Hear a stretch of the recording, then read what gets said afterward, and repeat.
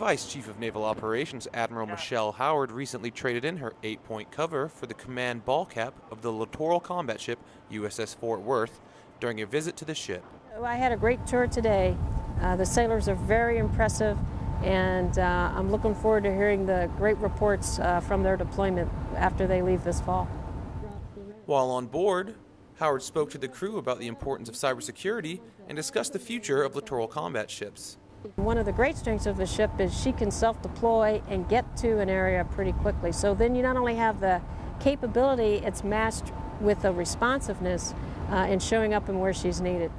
From San Diego, I'm Petty Officer Connor Minto.